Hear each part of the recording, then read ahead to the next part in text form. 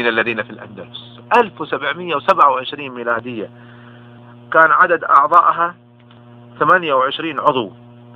في محاكمات أجريت لهم في 10 أكتوبر من عام 1727 وصودرت أموالهم وممتلكاتهم.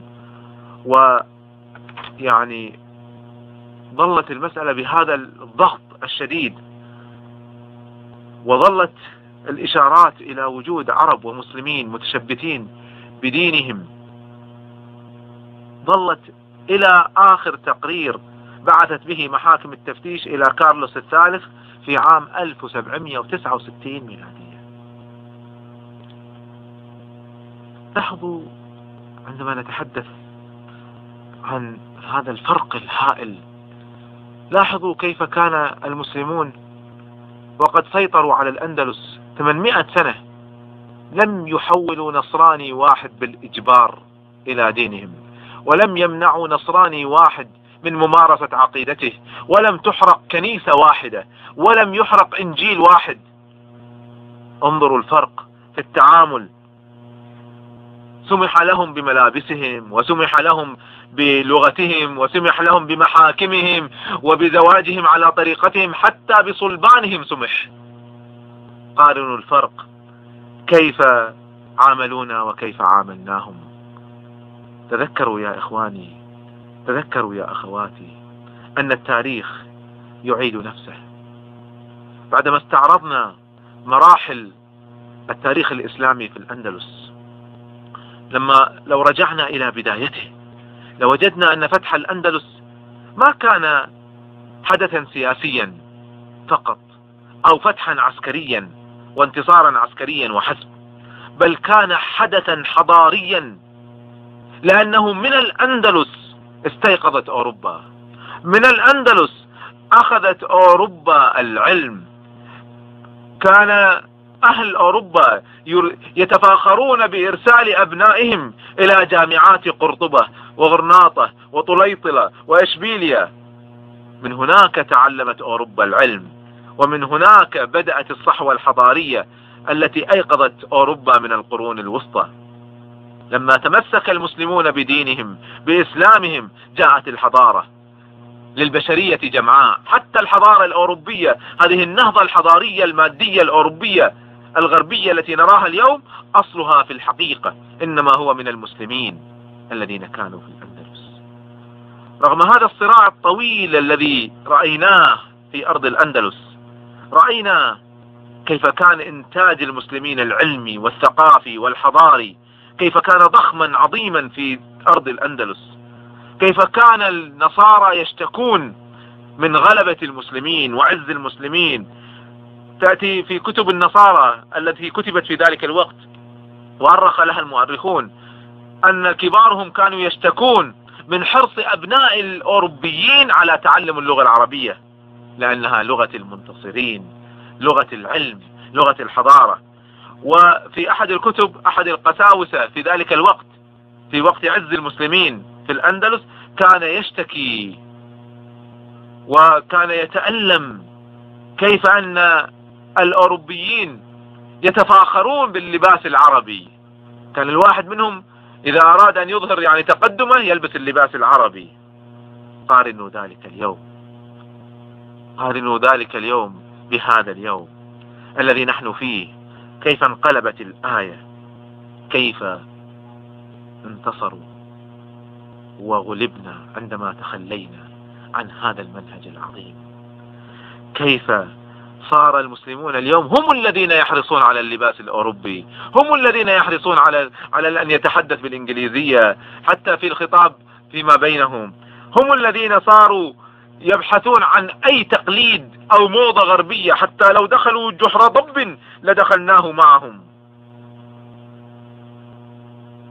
نعم من شأن المغلوب أن يتبع الغالب لكن الفرق لما انتصرنا صنعنا حضارة وأقمنا عدلا بين البشر واحترمنا الأديان وحقوق الإنسان ولما انتصروا تشهد لهم محاكم التفتيش تشهد لهم بالسبة التي تركوها في جبين الزمان.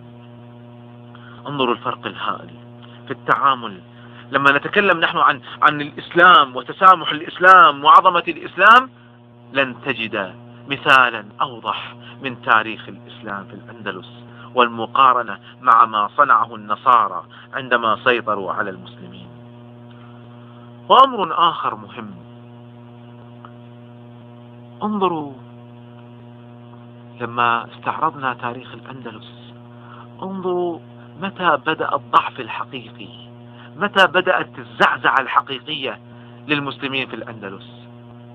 بدأت رغم أنه كانت هناك انحرافات كثيرة طويلة قبل ذلك لكن بدأت الزعزعة الحقيقية عندما نشأت دويلات الطوائف عندما حدثت الفرقة عندها تزعزع الإسلام في الأندلس. الوحدة إخواني وأخواتي هي سبب القوة. التفرق لا يؤدي إلا إلى الضعف وإلى الهزيمة. عندما كان المسلمون متوحدين هزوا أركان أوروبا. وعندما تفرقوا وجاء النصارى وتوحدوا سيطروا على الأندلس وأخضعوا المسلمين. الوحدة والالتزام بمنهج الإسلام وقوة الجهاد. عناصر ثلاث مرة أخرى الإيمان والأخوة والوحدة والسيف والسلاح. هذه عناصر القوة في أي أمة. هذه طريق العودة إلى النهضة من جديد. لا تنهض أمة إلا بعناصر الإيمان والعلم من ناحية والوحدة والأخوة من ناحية والسلاح والساعد من ناحية. هذه منهجية الحضارة من جديد. طريق العودة للأندلس ما زال مفتوحا باب الدعوة مفتوح. هناك أسبان اليوم يبحثون عن أصولهم في غرناطة. هناك عوائل مسلمة اليوم تنشر الإسلام. هناك منظمات إسلامية هناك دول إسلامية تساهم في نشر الإسلام في الأندلس. مسؤولية المسلمين في إعادة هذا البلد العظيم هذا البلد الإسلامي. يجب ألا ننسى أن هذا البلد من بلاد الإسلام. مهما تقادم الزمان فلا يسقط من تاريخنا ولا يسقط من أمتنا. واجب المسلمين اليوم عظيم في دعوة هؤلاء وغيرهم إلى الإسلام بالحسنى بالإقناع. هذه أسلحة هذا الزمان في حديث الناس بما يناسب عقولهم باختيار اللهجات والمنطق والنقاط والترتيب الذي يتناسب مع عقلية هذا الزمان. لا نقول إخواني وأخواتي أنها نهاية الإسلام في الأندلس نعم نحن نبكي عليها. نعم نحن نتألم على هذا المجد العظيم الذي ضاع وهذا الذل العظيم الذي حل بالمسلمين على هذه الفترة المريرة من تاريخ المسلمين هناك. نعم نحن نبكي لكننا لا نبكي كبكاء غيرنا. يبكي على الأمجاد ويجلس لا يفعل شيئا. فليكن بكاؤنا بكاء من يحركه البكاء للعمل من يحركه البكاء لأن يصنع للأمة حضارة ونهضة من جديد. واسمحوا لي إخواني وأخواتي اسمحوا لي أن أختم هذه الدروس بقصيدة لا يمكن لا يمكن أن يذكر تاريخ للأندلس دون ذكر هذه القصيدة التي أصبحت على كل لسان وصار فيها إحياء لنفوسنا لنعيد مجد الأندلس من جديد. نونية. أبي البقاء الرندي رحمه الله تعالى. لكل شيء إذا ما تم نقصان فلا يغر بطيب العيش إنسان. هي الأمور كما شاهدتها دول من سره زمن ساءته أزمان. وهذه الدار وهذه الدار لا تبقي على أحد ولا يدوم على حال لها شان. يمزق الدهر حتما كل سابغة إذا نمت مشرفيات وقرصان. أين الملوك؟ أين الملوك ذوي التيجان من يمن؟ وأين منهم أكاليل وتيجان؟ وأين ما شاده شداد من إرم؟ وأين ما ساسه في الفرس ساسان؟ وأين؟ وأين ما حازه قارون من ذهب؟ وأين عاد؟ وشداد وقحطان أتى على الكل أمر لا مرد له حتى قضوا فكأن القوم ما كانوا وصار ما كان من ملك ومن ملك كما حكى عن خيال الطيف واسنان. كأن حلم إنسان نائم هذه هذا التاريخ العظيم الذي للبشرية كأنه حلم يمر هكذا بالطيف. دار الزمان. دار الزمان على دار وقاتله. وأما كسرى فما آواه إيوان. كأنما الصعب لم يسهل له سبب. يوما ولا ملك الدنيا سليمان عليه السلام. فجائع الدهر أنواع منوعة. وللزمان مسرات وأحزان. وللحوادث سلوان. يسهلها وما لما حل بالإسلام سلوان. يعني المصائب أنواع وأشكال وكل مصيبة يأتي شيء يخلي الإنسان ينسى ويخلي يعني يأتي تأتي بعد الأيام الحزن أيام سرور. لكن الذي حل في الإسلام بالأندلس ما جاء بعده ما يجعلنا نسر. دهى الجزيرة أمر. الجزيرة جزيرة الأندلس يعني اللي هي شبه جزيرة. دهى الجزيرة أمر لا عزاء له.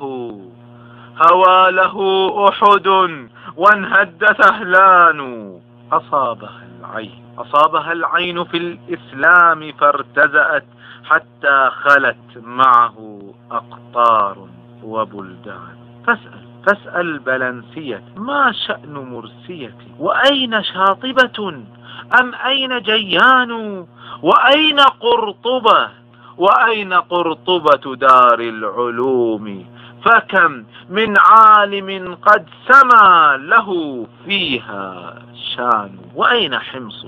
وما تحويه من نزه. ونهرها العذب فياض وملآن. كانوا يطلقون على بعض مدن الأندلس أسماء حمص وحلب لأنهم كانوا مرتبطين بالشام. قواعد. كن أركان البلاد فما عسى البقاء إذا لم تبق أركان. إذا ذهبت الأركان.